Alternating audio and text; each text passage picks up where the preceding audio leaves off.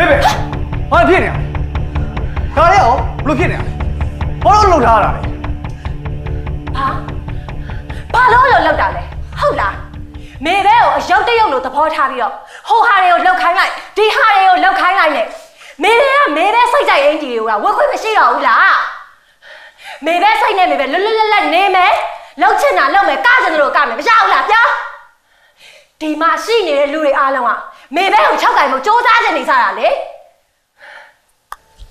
ကျွန်တော်ဘာမှမလုပ်ထားဘူးနော်ကျွန်တော်တို့အကတိုက်ပေးတာပဲရှိတယ်ဟုတ်သားပဲမေပဲဒီအစီအစဉ်နဲ့အဆင်ပြေမဲ့အင်ဂျီတွေအကုန်လုံးပဲဂျက်စင်ရွေးပေးထားတာလေဘာဖြစ် plus တွေတယောက်တည်းဒေါသတွေဖြစ်နေရတယ်စိတ်ဖို့အရန်ကောင်းတယ်ဘာ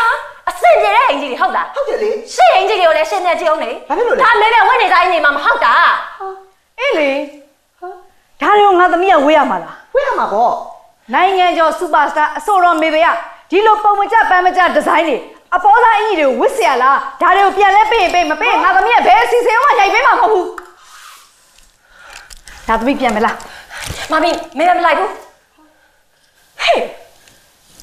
မလိုက်လို့ရမလားညကလည်းတညလုံးပြန်မလာဘူးငါအစီအစဉ်တွေပြက်ကုန်ပြီနော်မေဘေပြန်လိုက်ခဲ့စမ်း မေဘဲမလိုက်ဘူးမမီမေဘဲကိုနေနဲ့စကားပြောစရာရှိသေးတယ် မေဘေ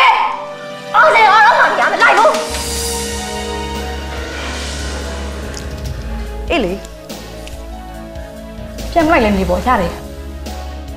ပေမဲ့ညကိစ္စကိုတော့မပြတ်စင်နဲ့ညီနဲ့ငါနဲ့အင်ကြမှာတွေ့တယ်